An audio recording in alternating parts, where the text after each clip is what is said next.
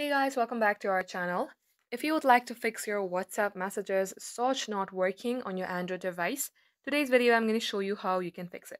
So first thing first, you have to make sure that you are using the latest version of your WhatsApp. For that, head over to your Play Store and at the top search bar type in WhatsApp Messenger. If you see open, that means your application is already updated, but in case you see update, tap on update and update your app.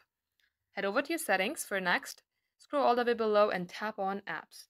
Here also you have to search for WhatsApp. So open your WhatsApp from here, tap storage and then clear the cache.